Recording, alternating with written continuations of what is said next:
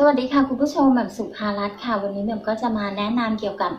การทานผักผลไม้ที่ดีต่อผู้ป่วยไตระยะสี่มีอะไรบ้างเดี๋ยวเราไปรับชมวิดีโอกันเลยค่ะ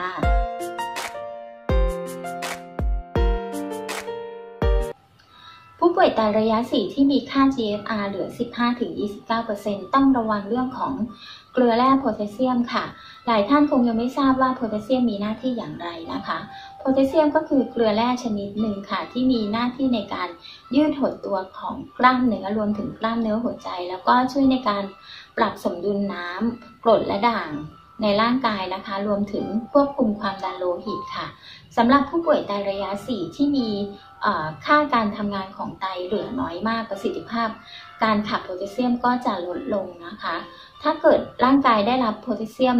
สูงเกินไปก็จะเกิดการคั่งของโพแทสเซียมค่ะ ซึ่งเราสามารถดูค่าโพแทสเซียมได้จากผลตรวจเลือดนะคะ ที่เขาจะเขียนว่าโพแทสเซียมหรือว่าตัว K ค่ะปริมาณโพแทสเซียม ค่าปกติก็จะอยู่ที่ 3.5 ถึง 5.2 นะคะ หากท่านใดมีค่าโพแทสเซียมที่สูงกว่า 5.2 ก็ถือว่ามีภาวะของโพแทสเซียมสูงค่ะ ซึ่งก็จะเริ่มมีอาการอ่อนเพลียขึ้นไส้กล้ามเนื้ออ่อนแรง รวมถึง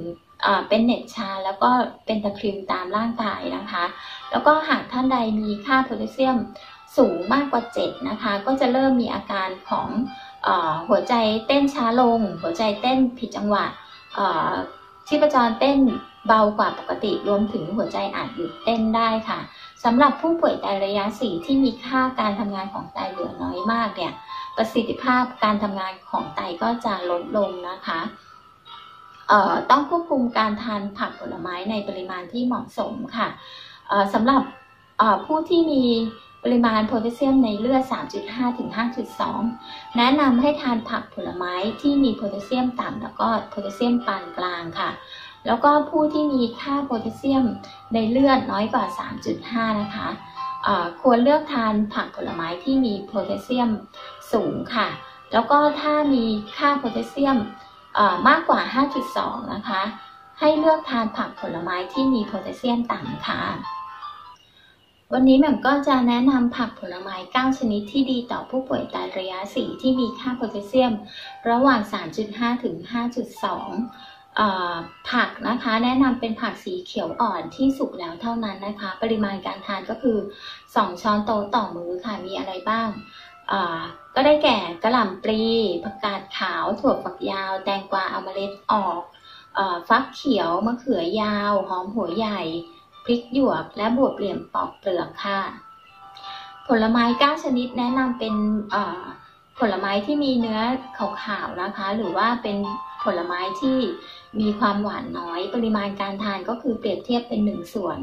ต่อวันนะคะ 1 ส่วนก็คือประมาณ 1 อุ้งมือของเราอะค่ะ ซึ่งได้แก่ชมพู่ 2 ผล แอปเปิล1ผลเล็ก รองกอง 6 ผล แตงโม 6-8 ชิ้นที่เป็นคำนะคะองุ่นเขียว 8-10 ผล เงาะ 4 ผล มังคุด 1-3 ผลมะม่วงดิบก็คือ 1 ส่วน 4 ผลนะคะ แล้วก็สับปะรด 8 ชิ้นคำมาค่ะสำหรับผู้ป่วยไตระยะ 4 ที่มีเบาหวานน้ำตาลสูง ก็ควรงดผลไม้ไปก่อนนะคะ ถ้าวันนี้ข้อมูลนี้ดีมีประโยชน์ยังไงฝากช่วยกดแชร์ กดติดตามช่อง YouTube เป็นกำลังใจให้หมือนด้วยนะคะ วันนี้ขอบคุณมากเลยค่ะ สวัสดีค่ะ